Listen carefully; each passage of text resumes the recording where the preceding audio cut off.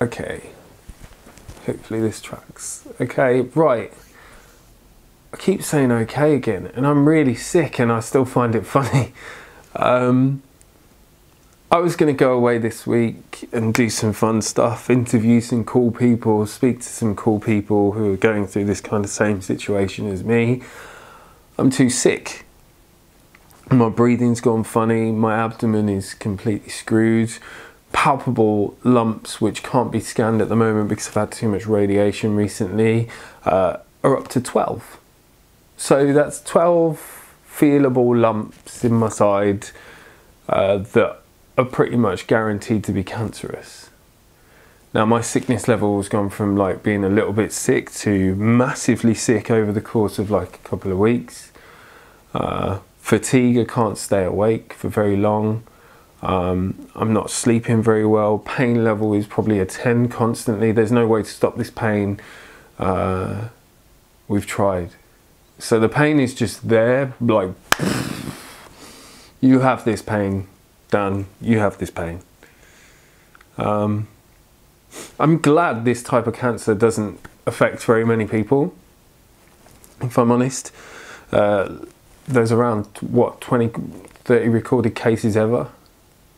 And it doesn't affect people very often, um, and I'm glad, because it's horrible. The lack of research means that I'll potentially die from this. Uh, the lack of understanding by doctors or people on how to treat it just makes it worse uh, because everyone's just stabbing, literally stabbing in the dark. And I'm not complaining about my situation. I'm not like being melodramatic when I say like I, I, I am genuinely fearful of some things, but I am fearless in how I'm fighting it.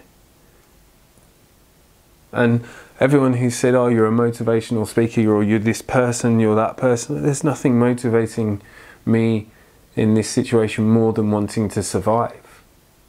And I'm just trying to convey the emotion and the raw aspect of how it is to have something that's so rare that no one knows what to do. It's, it's heartbreakingly hard to deal with and I've had to cancel holidays that I got for Christmas and things like that. And loads of my life has just deteriorated over time. And because I have to keep going in and out of hospital, I can't work properly.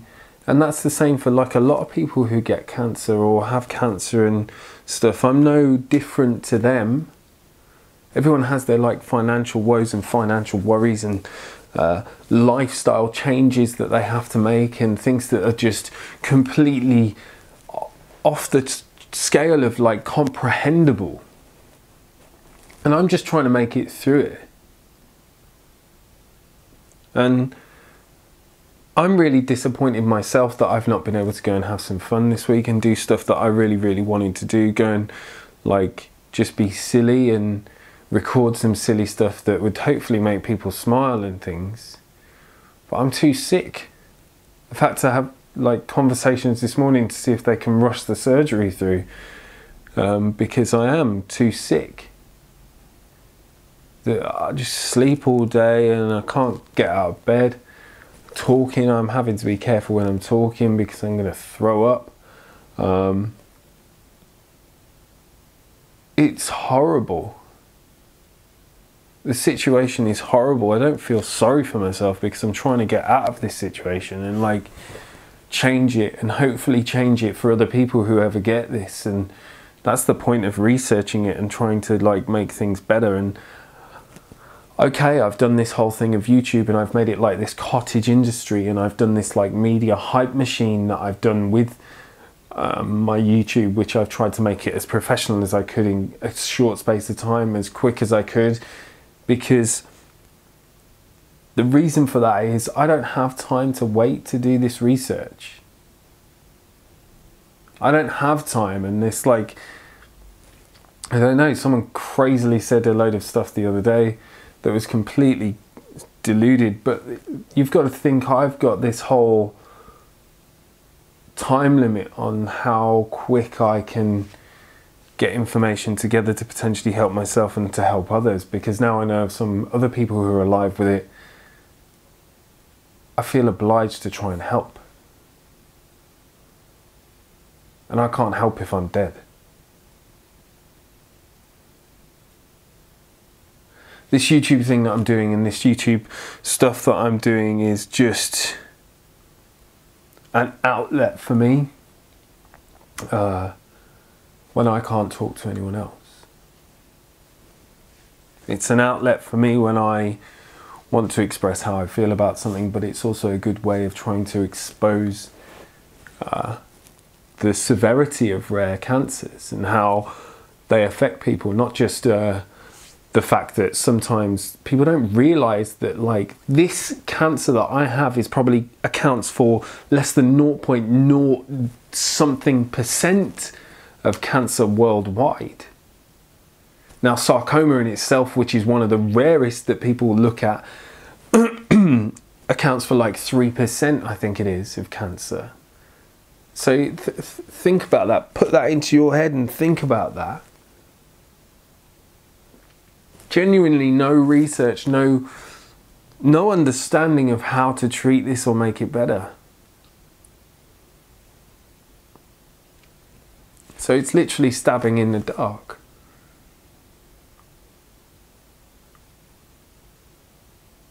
I'm sick now, like really sick. And I refuse to like pander down to that whole thing of giving in to stuff. But I have to have like some kind of break from this soon. I'm hoping when they do the surgery it'll all be out and then I can just try and find a way to just make this better and live again a bit.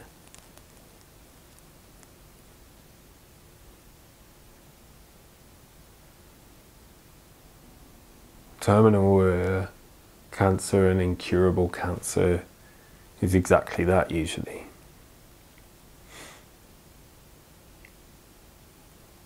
No one knows a time limit. And that's the thing, no one knows a time limit. And I'm a fighter. I'm not going to give up. Uh, so don't give in, don't give up, like I say, and everything. And yeah. Just wanted to share how I felt today.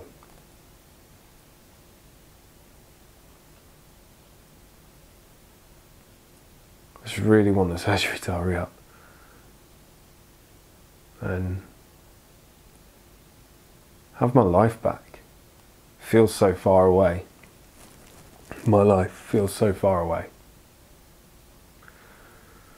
I just want it back. I also want to put weight on. So it's a weird thing for someone to say, I want to put weight on, I want to be larger than I, want, what I am now. I don't like being this uh, kind of skinny mini thing that I've become uh, compared to what I was before. Don't like it. but yeah, I tried to make myself look a little healthier and a little bit better for video purposes.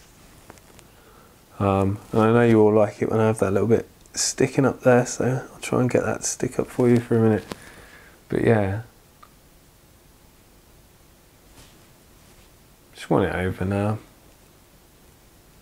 Just want to get rid of this cancer. I want to try and help other people, and I'm blabbering on because I'm stressed. But yeah, thank you everyone for your support. Thank you for going to my website, peeweetoms.com and trying to have a chat with me, checking out my stuff and um, things I write because I don't just do the vlog, I write as well.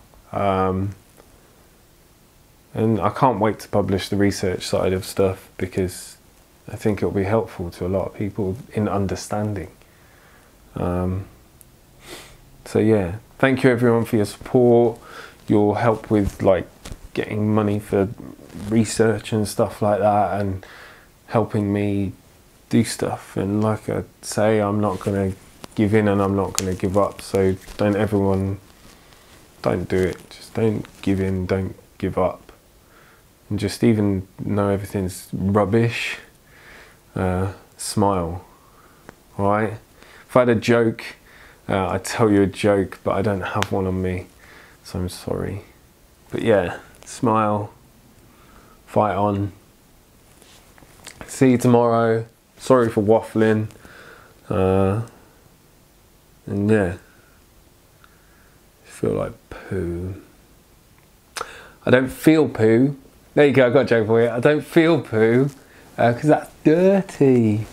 Um, I feel like poo. Rubbish. Absolutely rubbish.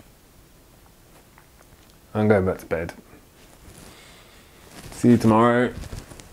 And yeah, see you tomorrow.